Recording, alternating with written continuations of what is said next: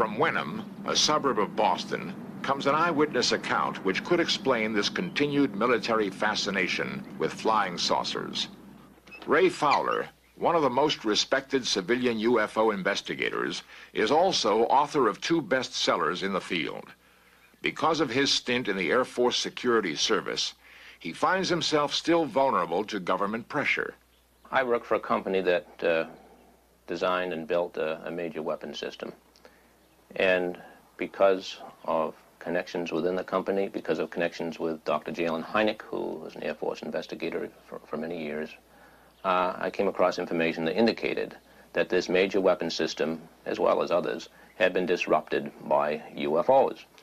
And uh, I gave a story to a national newspaper, the Christian Science Monitor, uh, which published this story. Uh, within an hour after this particular paper was out, the Strategic Air Command had called my company.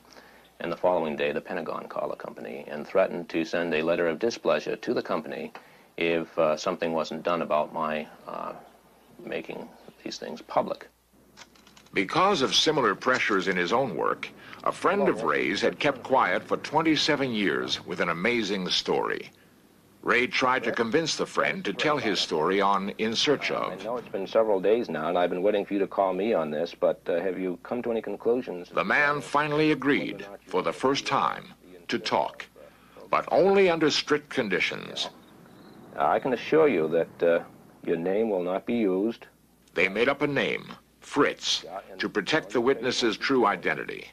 And I think the best place to do it probably would be my planetarium away from the kids and the telephone and things like that.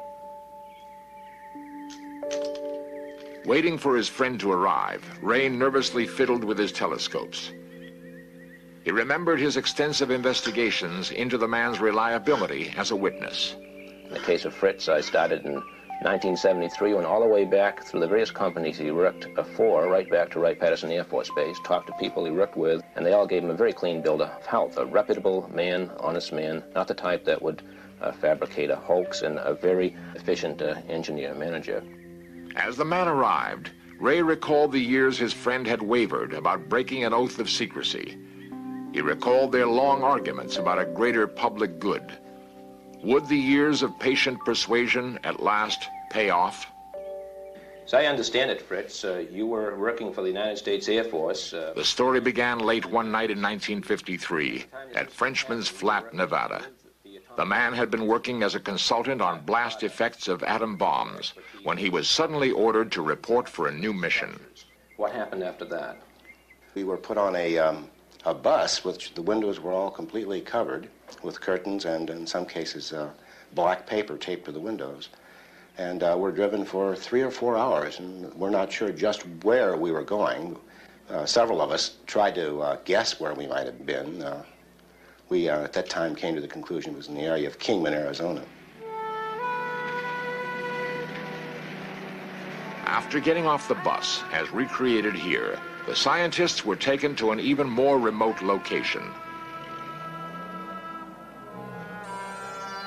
They had no idea exactly where they were or what they were about to see.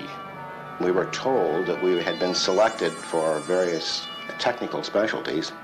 I was told that I was to ask any questions that had to do with dynamic loads and nothing more, and I wouldn't be, get any answers to any other questions.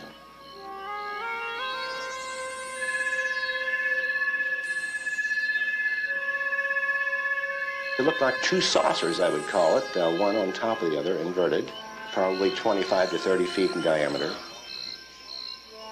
In terms of something known, what kind of metal would it look like? Well, it would look like a brushed aluminum. Mm-hmm. Uh, I'm sure it probably wasn't that. I say that uh, because I noticed no scratch marks. Mm-hmm. And anything that would penetrate into the sand 20 inches that way would certainly have some scratch marks. No signs of buckling, fracture, or anything? Not that I could see.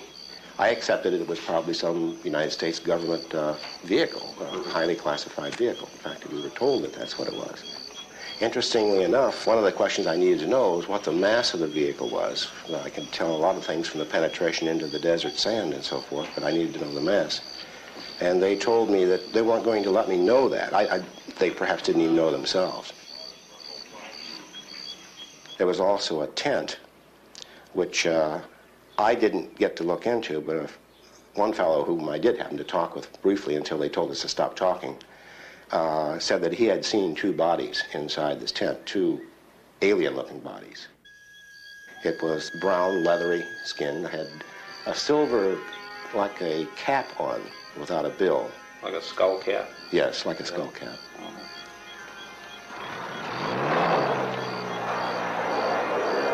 I realized what this really started to mean, but I also at the same time realized probably why the government was keeping it classified. There are a lot of things that could uh, be changed by our culture or religions. There are a lot of things that could be affected by the release of information like that at that particular time. Like many other UFO stories, this also concludes with the recovered craft taken to Wright-Patterson Air Force Base.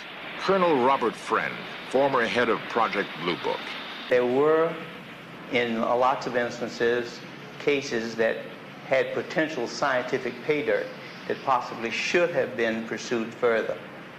And in that regard, yes, uh, I think that some of the cases had a lot of promise. The Roswell case and the strange story of the man known as Fritz are two dramatic examples of close encounters of the fourth kind. My major criticism is that uh, from way back in the 1947s, there should have been a gradual in information uh, release and uh, have the uh, public accustomed to, to, what UFOs are, what we're trying to do about them.